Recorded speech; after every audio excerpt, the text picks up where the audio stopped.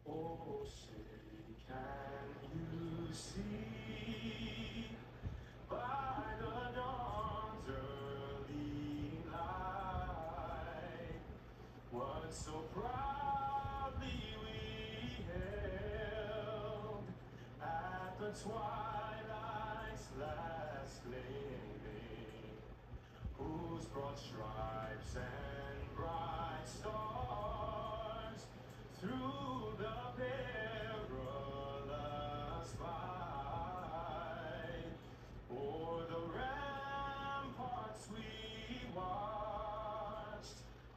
so God.